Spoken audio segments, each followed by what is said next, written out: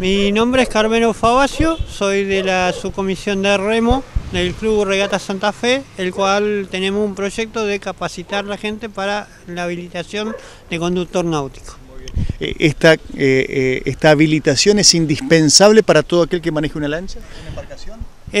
todo aquel que maneje, que, que timonee una lancha hasta 7 metros de eslora y 140 HP, es la habilitación la, la, básica que necesita un navegante. Cualquier cosa que se mueva con un motor lo habilita, también habilita para moto de agua, también habilita para propulsión digamos, si nosotros tenemos el que funciona con, el ventilador también. Eh, ustedes son una institución que se dedica a capacitar, no son los que otorgan la habilitación final. No, no.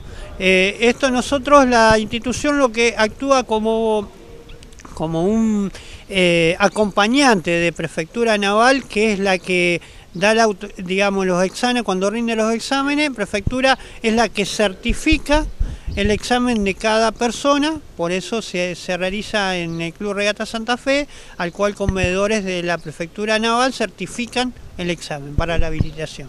Eh, eh, eh, este examen que deben aprobar todo aquel que quiera tener el título de timonel, ¿cuáles son los pasos que se siguen? ¿Cuántas clases se brindan? ¿Es una apoyatura teórica y una práctica? ¿O cómo se divide? Sí, nosotros estamos implementando en distintas localidades el sistema de que venimos un día, damos una clase teórica, eh, nos manejamos hoy con la gama que nos permite la tecnología, WhatsApp o Internet, el cual los alumnos despejan las dudas, tienen una clase práctica eh, para, realizar y después la clase, digamos, la, la que se rinde teórico-práctico. En estos últimos tiempos hubo muchos comentarios aquí en la zona de gente que le retiraron, le quitaron la embarcación por no tener eh, eh, precisamente la habilitación como timonel. ¿Esto es ciertamente habitual o es una situación extraordinaria?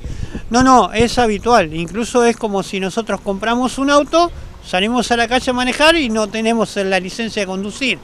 Incluso hoy Prefectura Naval para hacer el trámite de tu propia lancha te exige tener el carnet de conductor náutico. ¿Es caro hacer este curso, esta capacitación, obtener toda la documentación?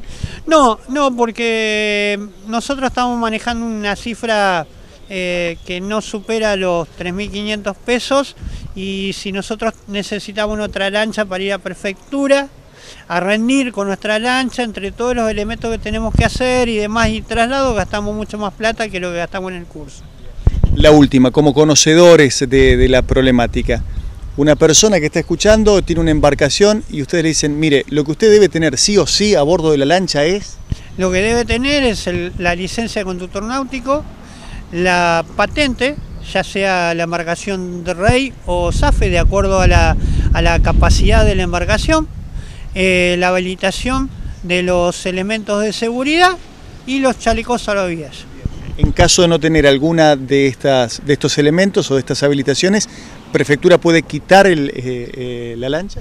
Las, la, hoy la reglamentación dice que por la única forma que te pueden quitar es por la falta del carnet de timonel y porque tu lancha no esté, digamos, debidamente con los papeles. Por lo otro te colocan multas, que son caras. ¿Son caras de cuánto? Y estamos hablando que hoy por no tener la habilitación solamente te llevas una multa casi de 6 mil pesos.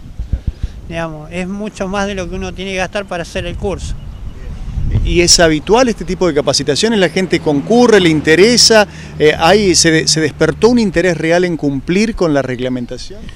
Sí, desde hace un año y medio sí, porque Prefectura, por orden del Gobierno Nacional, está empezando a implementar los seguimientos y patrullajes normales en el agua, al cual es como que si nosotros nos para un control y tenemos un auto, digamos.